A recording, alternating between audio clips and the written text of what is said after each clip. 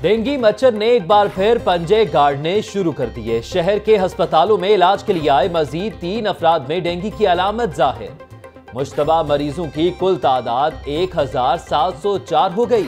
Dengue کے شکار چودہ کنفرم مریض ہسپتالوں میں زیر علاج ہیں۔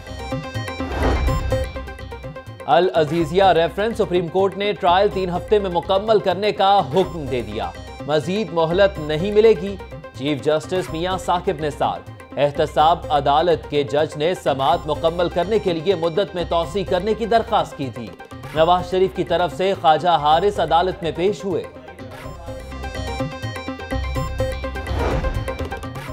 کیا وہ لوگ معافی کے قابل ہیں جنہوں نے اس قوم کو گندا پانی پلایا؟ چیف جسٹس آف پاکستان نے گیارہ کمپنیوں کے مالکان کو کل صبح نو بجے سپریم کورٹ طلب کر لیا۔ اعتزاز احسن کی مقدمے کی سماعت تیس نومبر تک ملتوی کرنے کی استدا مسترد۔ آپ کیا چاہتے ہیں کہ میں سمجھوتا کر کے برطانیہ کے دورے پر چلا جاؤں؟ چیف جسٹس کا اعتزاز احسن کو جواب۔ کل پیش نہ ہونے پر کمپنیوں کے مالکان کے نام ای سی ایل میں ڈال دیے جائیں گے۔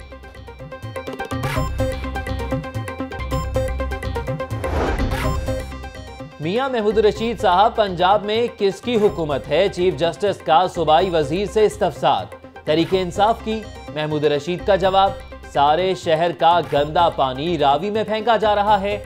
آج تک واٹر فلٹریشن کا کام ہی نہیں ہوا۔ یہ کام کس نے کرنے ہیں؟ جسٹس ثاقب نثار نے حکومت سے ایک ہفتے میں واٹر فلٹریشن سے متعلق رپورٹ طلب کر لی۔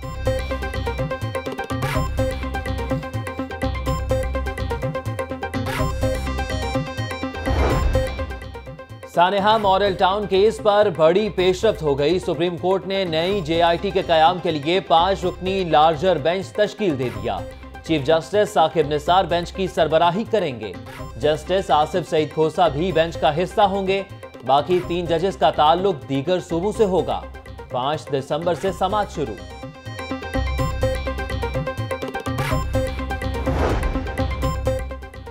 سانحہ ماڈل ٹاؤن کیس میں نئی جے آئی ٹی بنانے کا معاملہ شہباز شریف سپریم کورٹ میں پیش نہیں ہوئے۔ شہباز شریف نے لکھ کر دیا ہے کہ وہ پیش نہیں ہونا چاہتے۔ D G NAB Saleem Shahzad. Case کی دوبارہ تفتیش کے لیے نئی جے آئی ٹی تشکیل دی جائے۔ ڈاکٹر طاہر القادری کی عدالت سے استدا تیاری کے لیے وقت درکار ہے شہباز شریف کے وکیل۔ آزم نذیر نے عدالت سے وقت مانگ لیا۔ گلو بٹ بھی عدالت پیش۔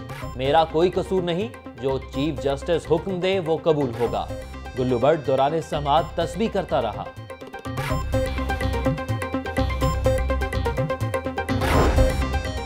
سانحہ ماڈل ٹاؤن کے متاثرین کا سپریم کورٹ کے باہر مظاہرہ، خواتین اور بچوں کی بڑی تعداد شریک۔ عدالت کے باہر شدید نعرے بازی۔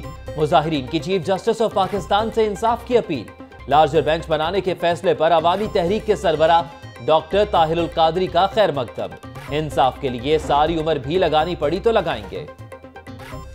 پیراگون ہاؤسنگ سکینڈل احتساب عدالت نے سوسائٹی کے ڈائریکٹر کیسر امین بٹ کو پندرہ روزہ جسمانی ڈیمانڈ پر نیب کے حوالے کر دیا۔ کیسر، کیا پلی بارگین کرنے جا رہے ہیں؟ عدالت کا استفسار۔ جی میں تیار ہوں۔ جتنے کا حصہ دار ہوں، کیسر امین بٹ کا جواب۔ عدالت کا ملزم کو چار دسمبر کو دوبارہ پیش کرنے کا حکم۔ کیسر امین بٹ چار روز سے نیب کی تحویل میں تھے۔ اوورسیز پاکستانیز کمیشن کے سابق کمشنر افضال بھٹی کا نام ای سی ایل سے نکالنے کا معاملہ واجب الادا رقم کی ادائیگی سے مشروع۔ افضال بھٹی پچاس لاکھ روپے قومی خزانے میں جمع کروانے کو تیار ہیں۔ ڈی جی نیب لاہور، پینسٹھ لاکھ قومی خزانے میں جمع کروا دیں تو آزاد ہیں۔ نام ای سی ایل سے نکال دیا جائے، عدالت۔ لوٹ مار کرنے والے سیاستدان ٹکے ٹکے کی باتیں کرتے اور خود کو ہیرو بنا کر پیش کرتے ہیں۔ صوبائی وزیر اطلاعات فیاض الحسن چوہان مخالفین پر چڑھ دوڑے۔ کہتے ہیں، کوئی میٹر ریڈر، قسم کا اور کوئی سینما کا ٹکٹ بلیک کرنے والا سیاستدان ہے۔ نئی سرکار، پرانی روایت، urban unit L W M C Lahore parking company, cattle company اور فوڈ اتھارٹی کے بورڈز کو تحلیل ہوئے۔ ایک سو بیس روز گزر گئے۔ بورڈز کے اجلاس ہوئے، نہ چیئرمینوں کی تعیناتی۔ بڑے اور اہم فیصلے بھی رک گئے۔ افسران بھی تذبذب کا شکار ہیں۔ پنجاب حکومت کی طرف سے بورڈ نہ بنانا فیصلہ سازی میں بڑی رکاوٹ بن گیا۔ کینال روڈ کے انڈر پاسز کی حالت ازار لاہور نیوز نے اٹھائی آواز تو ایل ڈی اے اور ٹیپا حرکت میں آ گئے۔ کہیں بیریئرز کی تنصیب شروع تو کہیں نئی۔ شیلڈ بار اور سائن بورڈز آویزاں کر دیے گئے۔ بیس کروڑ روپے سے ڈاکٹر ہسپتال سے مغل پورا تک انڈر پاسز کی حالت بہتر بنائی جائے گی۔ سیاست کا شوق بچپن سے ہی تھا۔ طالبات تعلیم کے ساتھ ہم نصابی سرگرمیوں میں بھی حصہ لیں۔